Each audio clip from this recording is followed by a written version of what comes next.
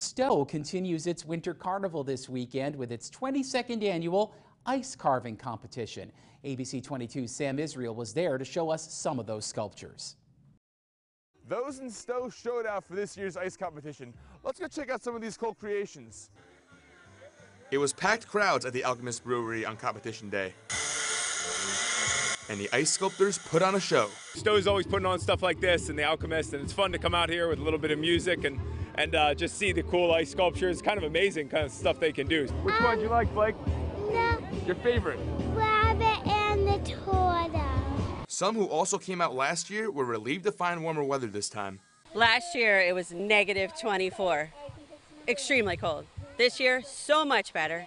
The day started with an amateur competition, followed by a professional competition and a speed round. And for the amateurs, In first place, Jacob Hughes. Congratulations.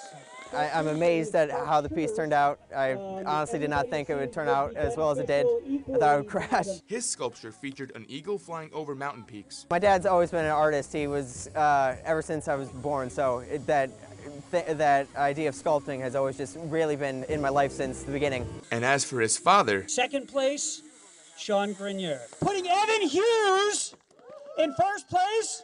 he took home the professional competition honors. I love coming to this event. This is something I've done. This I think this is my fifth or sixth time here. The last two years, my piece crashed, and so it's really, uh, you know, big for me that not only did my piece sto- stayed together, but that I actually won it. I got in first place. Like father, like son, a family that dominated the competitions. It's always fun seeing you know following your dad's footsteps, and also I bet I bet he's pretty proud too.